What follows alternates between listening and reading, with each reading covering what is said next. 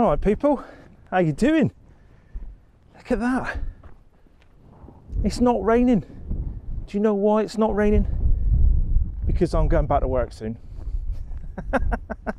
now, don't get too bored because I'm bringing you to this place again, the day marker.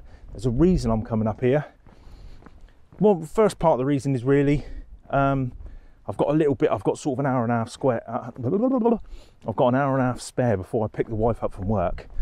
And what I wanted to do, day marker, sun's over there somewhere. I want to take a picture from that side of the day marker through and have the sun inside the day marker shining through the legs.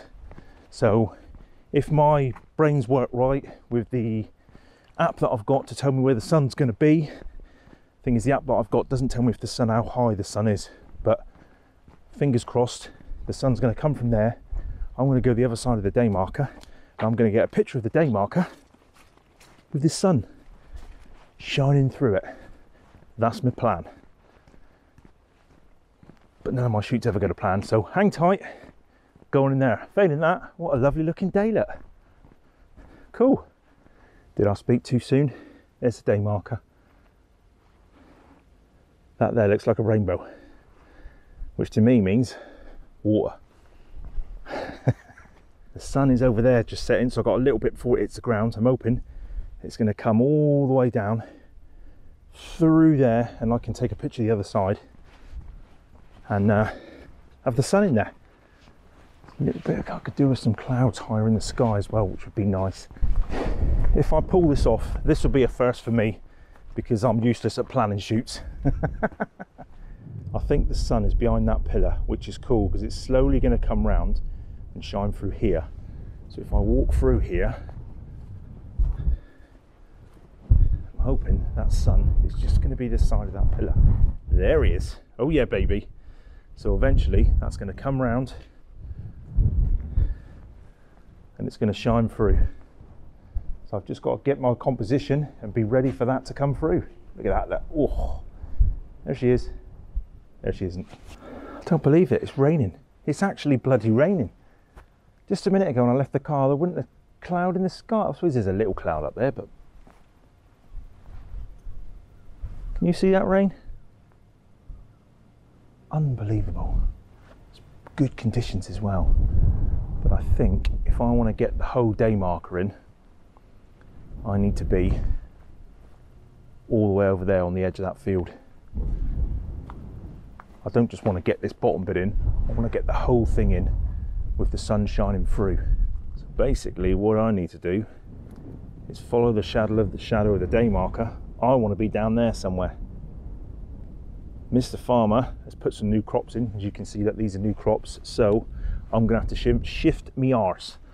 I'm gonna go back out the gate and I'm gonna run, run all the way up there, all the way up there, there's a gate there, and come right down there. So I ain't gonna talk and run because I'll be knackered. Hang tight, let's go. Right people, I'm in position. Oh, um, I haven't gone to the edge of the field. I'll come down this track here. Can you see that? Went round to the gate, come down the track. Because I walked down the other side, I'm too far away. I think this is probably going to be the best position. And now I've set up my camera and literally I'm waiting. The sun is on this side. It's slowly going over like that. It's just in behind now and hopefully it's going to go through and boof, I'm going to see it right through the middle of there. Problem is,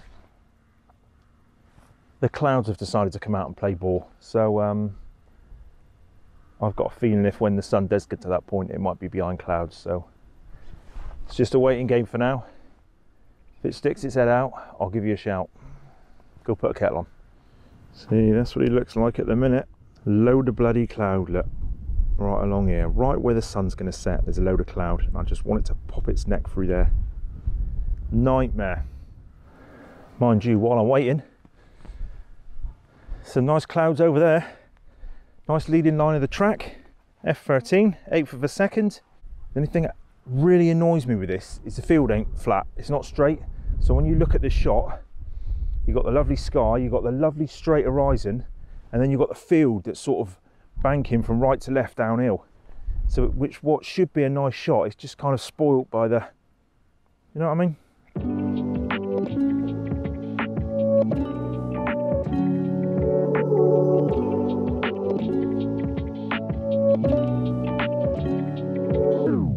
Got some nice colours behind the day marker now. Does look quite cool. Shoot a little bit wider just in case I need to crop him. Come on, sun, stick your head through. Some nice cloud colour there. Right, I think I got it. The day mark is in shadow on this side, obviously, because it's so bright behind. Um, so I've taken one shot. Da, da, da, da, da. One shot at a 25th of a second F13. F13 I like shooting at anyway, but I was hoping F13 would give me a bit of a sunburst, starburst, whatever you like to call it. And then I've got another shot at 13th of a second, and then kind of a, an exposed shot to see the front of this in the nice green grass, a third of a second.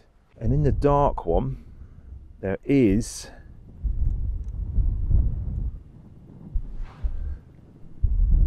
oh, there is a little bit. I'll show you.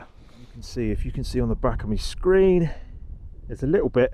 And if the picture's any good of this bad boy, it's only to be a, sh- little little starbursty thing, I think. If it's any good, here it is.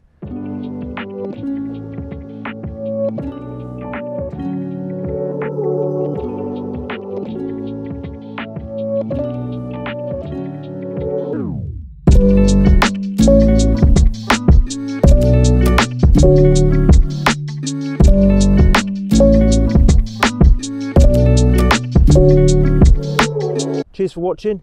Sorry it's a quick one. I've got to pick a wife up in about 10 minutes and she's about 900 mile away.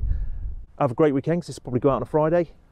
This bad boy is why I come and took this shot on my Facebook memories. Um, and what week ago, I took this shot back in I don't know when it was 2016, 2017.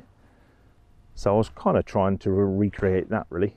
So yeah, cool. Cheers. Bye.